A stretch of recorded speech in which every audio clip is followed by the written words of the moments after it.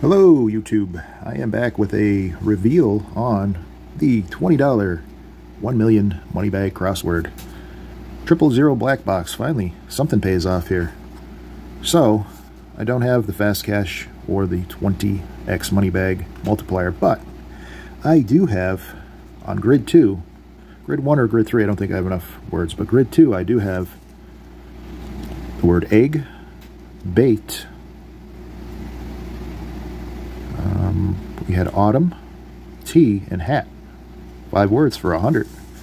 Let's uh, scratch off the scratch off the barcode and scan it and see what it is for sure. But it should be a hundred bucks.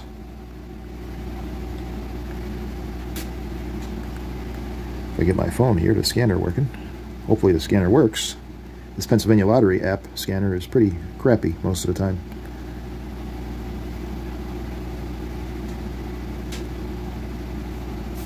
There we go, 100 bucks on triple zero black box. Very nice.